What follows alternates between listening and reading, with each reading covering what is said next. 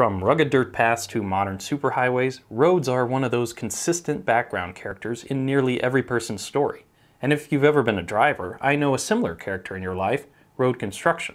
Most of us love having wide, smooth roadways to take us to work, to home, and everywhere else we travel, but we're hardly ever excited to see a construction project starting on our favorite roadway. I'm here to change that, or at least to try. I love construction, always have, and when it happens along my commute, I love it even more because I get to see the slow but steady progress each day. And I think, or at least I hope, that if you can know a little bit more about what's going on behind those orange cones, you might appreciate it a little more as well. So I'll start with step one, and if people are interested, I'll keep this series going.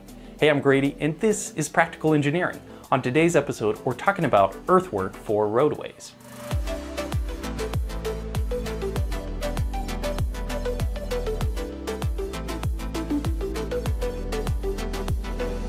This video is sponsored by Brilliant. More on that later.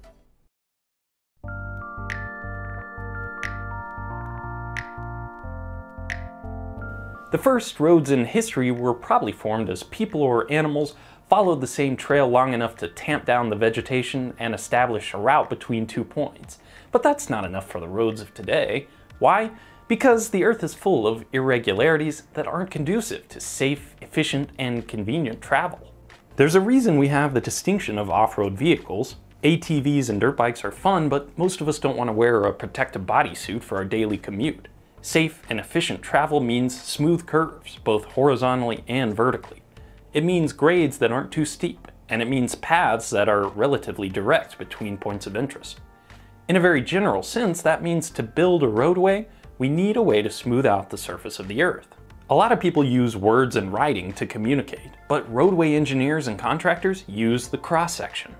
This is a special kind of drawing that shows a slice through a particular location and it's the literal language of road building. On it, you can see the level of the earth before construction and the proposed surface afterwards. Any difference in these two lines means some earthwork is going to be required. Areas above the proposed roadway need to be excavated away, also called cut, and areas below the proposed road need to be filled in. Cut and fill are the most fundamental concepts in any earthwork project, and keeping the cut and fill in balance with one another is a critical part of roadway engineering. After all, if you need to fill in some areas, that soil is going to have to come from somewhere.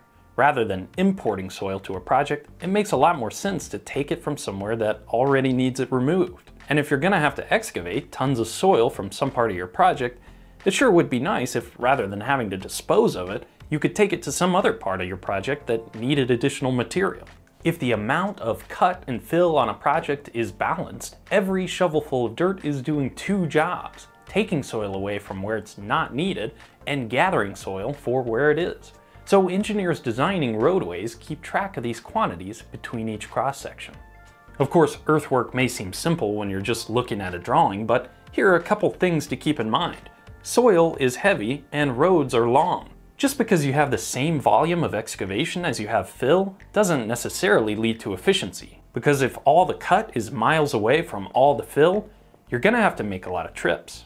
So roadway design not only needs to balance cut and fill, but also to try to minimize the haul distance. Mass haul diagrams show the net change in earthwork volume over the length of the roadway.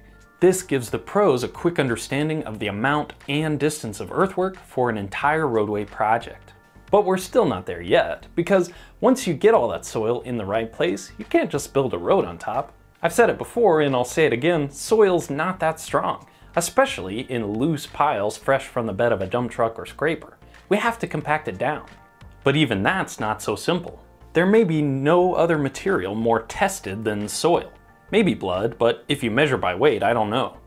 In testing labs all over the world, probably at this very moment, there are people looking at and taking pictures of shaping and rolling soil, inserting it into equipment, taking measurements and writing those measurements down on clipboards.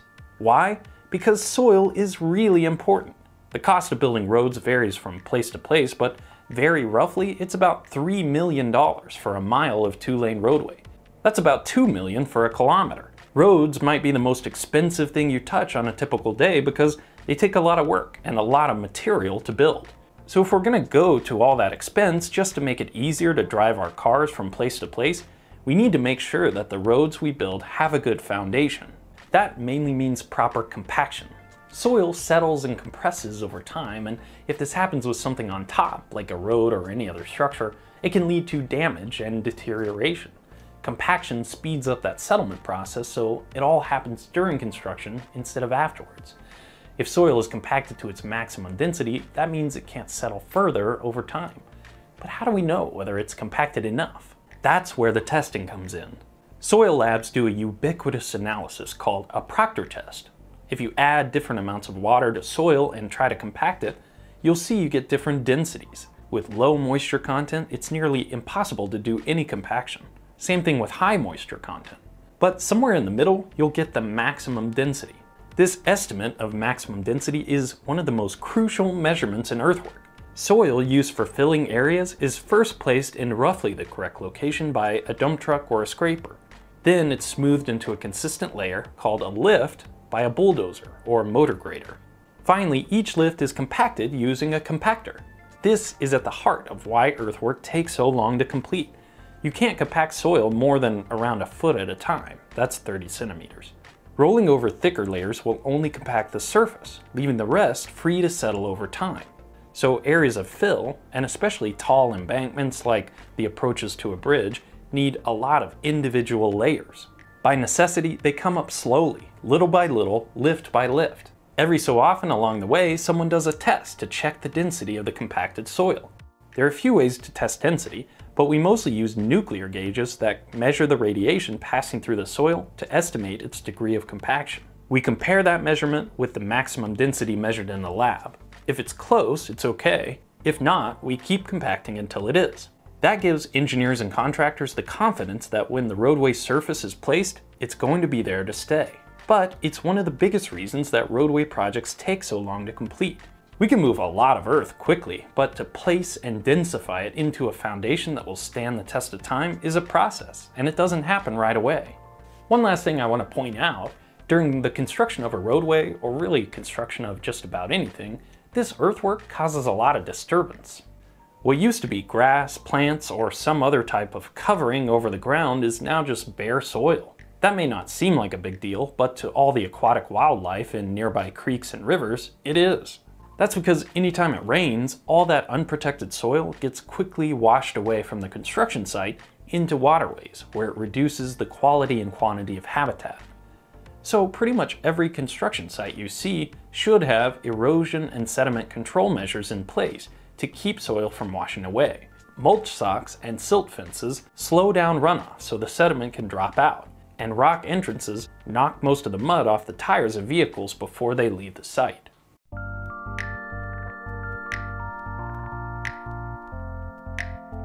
Like it or not, roads are a part of the fabric of society. Travel is a fundamental part of life for nearly everyone. Unfortunately, that means road construction is too. But I hope this video gives you a little more appreciation for what's going on behind the orange cones. You know that metaphorically significant planar surface where the rubber meets the road? Well, it couldn't even exist without the engineers and construction workers designing and building the planar surface just below, where the road meets the earthwork. You may have noticed in the video that earthwork is really just a problem in geometry, using excavation and fills to literally reshape the earth. People who excel in spatial problem solving make great civil engineers and contractors because geometry is needed for nearly every step of design and construction. Today's sponsor, Brilliant, is a problem solving website that teaches you to think like an engineer by taking topics like geometry, breaking them into concepts, and guiding you through problems to build your knowledge and intuition. Anyone can read a textbook or watch a few videos. Brilliant takes learning so much further by making courses interactive and thought provoking. I've been using Brilliant for several years now, and it's been really exciting to see them add new courses and features with a focus on great design. Have you ever seen search results this beautiful? Sign up completely free and let them know you came from this video by using brilliant.org slash practical engineering. The first 200 people that use the link will get 20% off the annual premium subscription. Thank you for watching, and let me know what you think.